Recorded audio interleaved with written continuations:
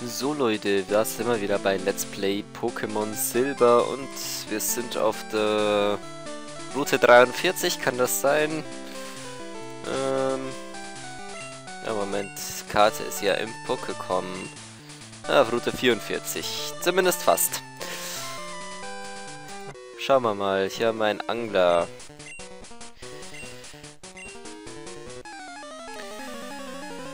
Erstmal wieder reinkommen hier. Angler Albin. Was hat er denn? Ein Remoreit. Was haben wir von... Ach, Garadon. Was kannst denn du mittlerweile eigentlich? Äh, äh, nicht unbedingt das Beste. Nehmen wir die Drachenwut. Die sollte hier noch am meisten Schaden machen und das Remoreit zumindest two-hitten. Ein Psystrahl. Nur mal testweise, wie viel zieht der Biss ab? Ja gut, genug. Noch ein Remurite. Nee, will ich nicht wechseln. Können wir gleich mal schauen, wie viel der Biss so Schaden macht. Ja, ungefähr so viel wie Drachenwut, aber ich glaube, das liegt jetzt einfach daran, dass wir da schon wieder so krass überlevelt sind. Wobei wir das nicht mehr lange sein werden.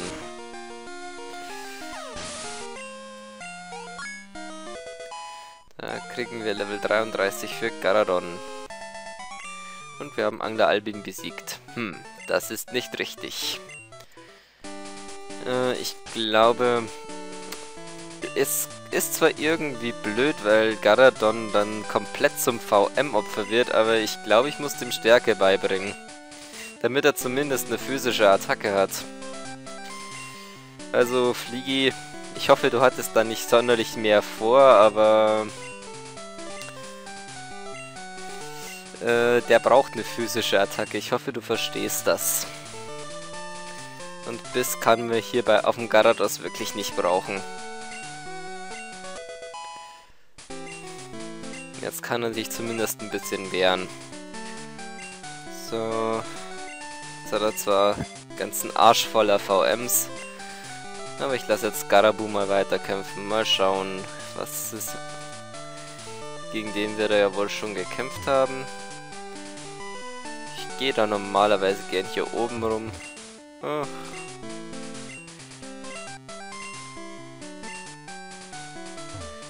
Tja, hier hat er wohl anscheinend schon gekämpft.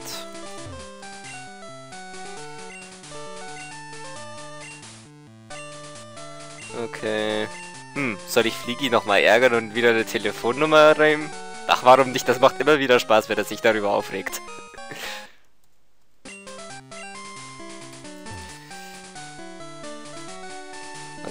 Kann ihn schließlich immer so schön ärgern damit.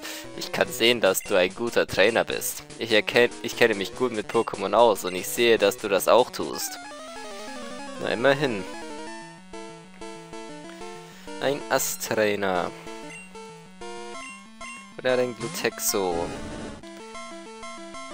Na dann. Das kann Scarabu doch schön erledigen. Einfach eine Hornattacke drauf. Glutexus Verteidigung ist jetzt auch nicht so immens. Ach, Rauchwolke. Einfach nochmal Hornattacke in der Hoffnung, dass es trifft.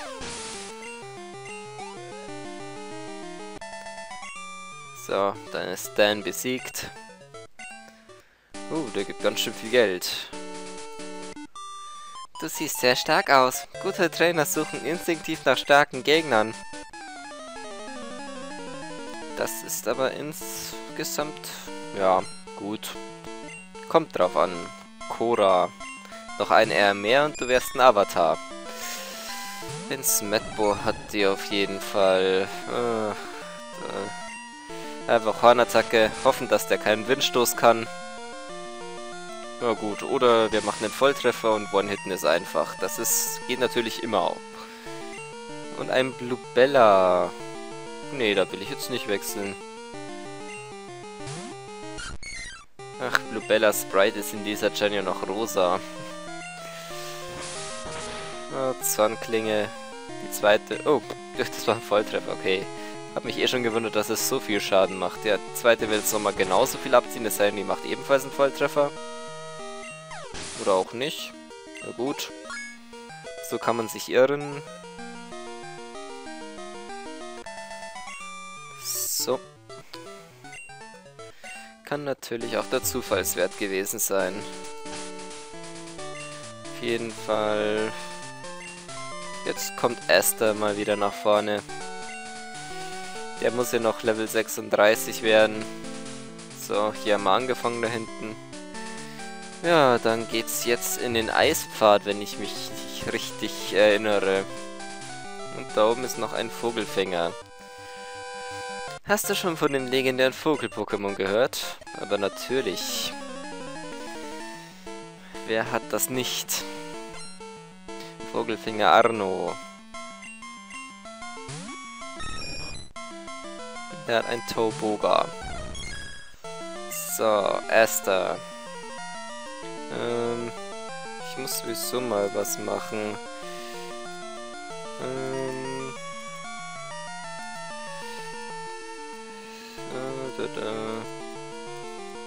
Ganzen Attacke mal ein bisschen umstellen, so dass sie wieder nach Stärke sortiert sind.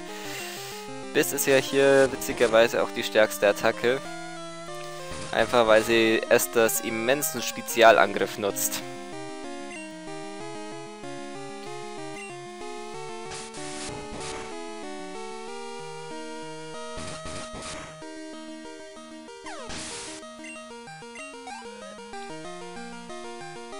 So, was hat er jetzt noch? Ein, noch ein Tauboga. Will ich nicht wechseln? Nee.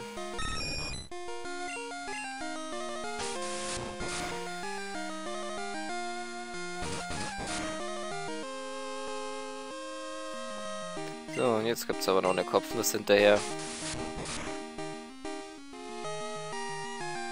Sollte nämlich reichen, auch wenn Esthers Angriff lang nicht so stark ist wie sein Spezialangriff. Schaden sollte das immer noch machen. Wir sind ja schließlich in Generation 2 und da sind, gelten noch ganz andere Standards als heutzutage. So, der Eispfad. Und da kriegen wir auch gleich eins der schlechtesten Pokémon in der ganzen Geschichte dieses Spiels vor die Nase. Ein Botogel. Ich habe aber nicht vor, hier irgendwas zu fangen. Unser Team ist ja mittlerweile komplett. Ja, hier war nichts. So, mein Lieblingseisrätsel.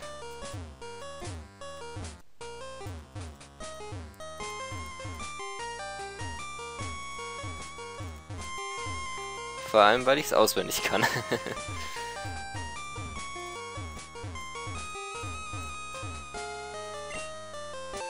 Und hier haben wir Kaskade.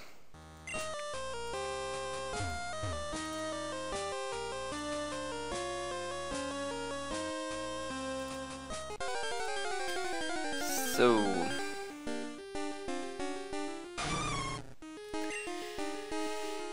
Noch ein Botogel. Ich will aber nicht mit dir kämpfen. Haben wir eigentlich Schutz dabei? Würde mich jetzt einfach mal interessieren. Der gute Fliegi, der eingekauft hat eventuell. Aber sieht nicht so aus. Na gut, macht mir nichts aus. Kommen da auch sehr gut ohne Schutz durch.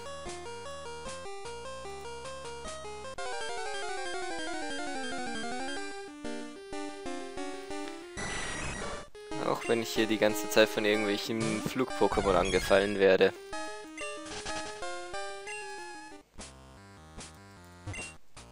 So. Garadon, dann zeig mal, was du kannst.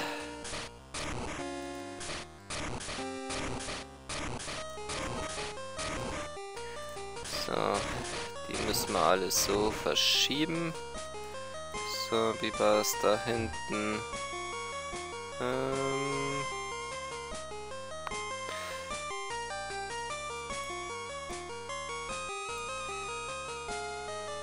mich an das Loch daran. Von oben ja offensichtlich nicht.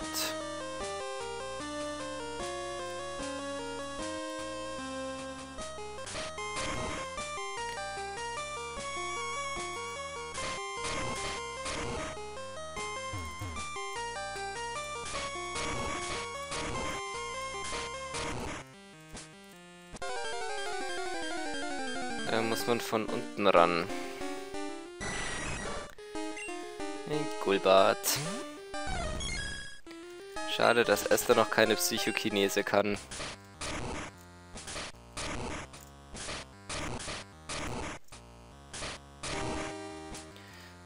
Der Fels ist heruntergefallen. Ja, was du nicht sagst.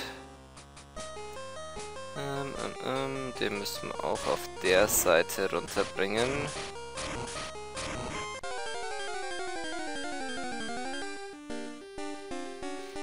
Ein Quiekel. Auch ein sehr schönes Pokémon, vor allem das, was es sich weiterentwickelt. Gut, auch wenn es seine letzte Entwicklungsstufe hier noch nicht mal hat.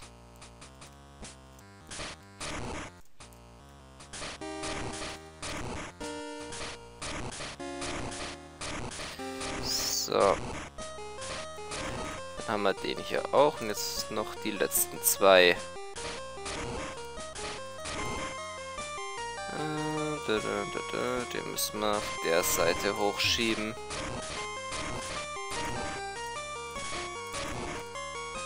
So. Den Felsen habe ich hier schon vorbereitet.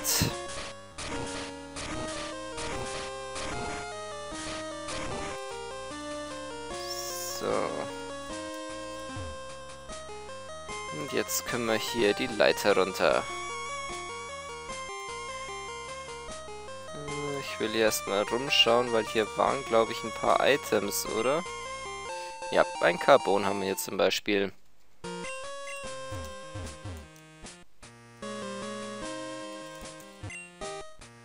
Und hier haben wir noch einen Top-Trank. Kann man ja nie genug davon kriegen. So, jetzt hier, hier, hier, hier und dort. Ein Hyperheiler. Zertrümmerer haben wir ja auch dabei, ne? Hat Skarabu. Ewiges Eis. Wir haben keine Eisattacken bei uns im Team mit drin. Bringen uns also leider nichts. Okay, hier können wir nichts machen.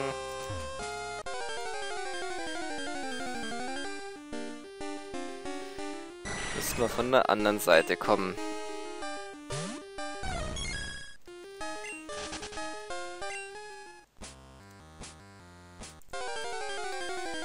Und noch ein wildes Pokémon.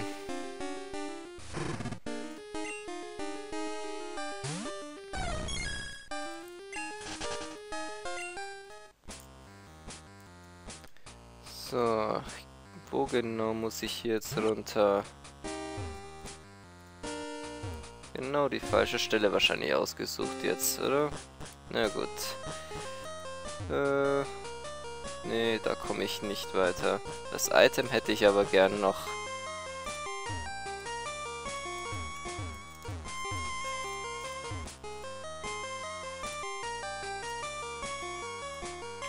So, wo war das? Muss ich hier hin, oder? Ja.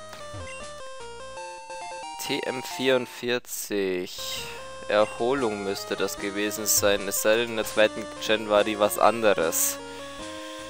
Aber sehen wir ja gleich. Ja, Erholung.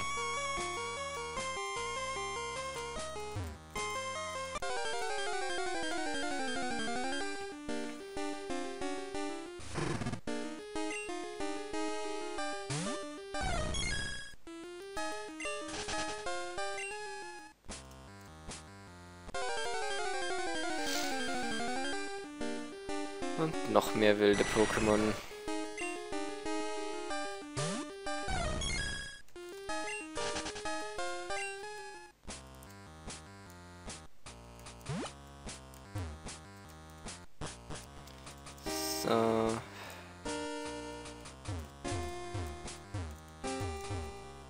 Wobei, ich will ja noch vorher das Teil da holen da unten, ne? Eisen.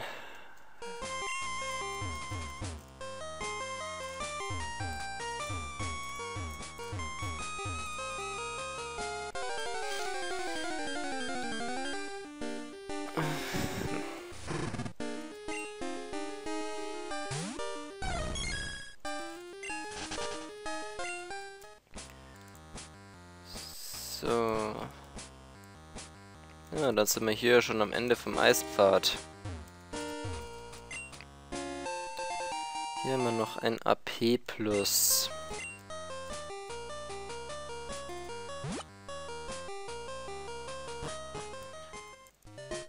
Ja. Wow, du bist über den Eispfad gekommen? Du musst ein richtiger Heißsporn sein.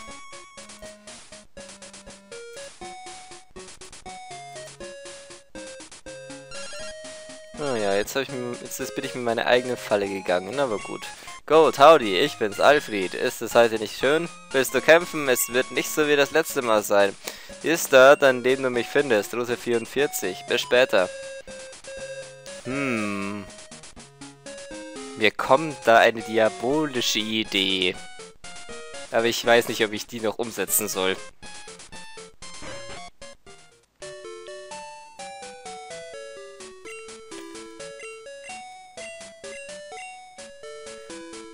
Aber erstmal Pokémon heilen.